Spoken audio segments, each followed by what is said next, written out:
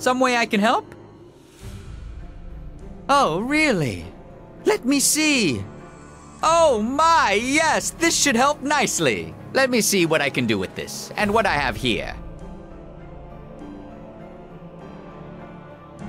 Let me just put what we have together. See if we can wake our big bladed friend here up. Just need to put the last few finishing touches on him. Do this here and over there, and then we'll go underneath Well, that should do it. Shouldn't it?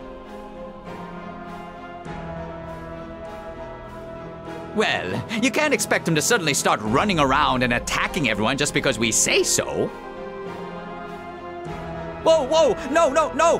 Bad construct! Stop waving those blades around! Stop it! My, that was a surprise! really gets the blood pumping! Phew, I must say, I'm rather proud of it. Look how tall it is! It really has grown since it was damaged way back in Neverwinter fighting those nasty Githyanki. Well, thank you. I must say, I had my doubts there for a while. A long while. But I appreciate the support and patience. Sometimes you just have to wait for inspiration to strike. Go on, try it out. We can bring it along on our adventures from now on. Just talk to it if you'd like. Not sure it'll answer though.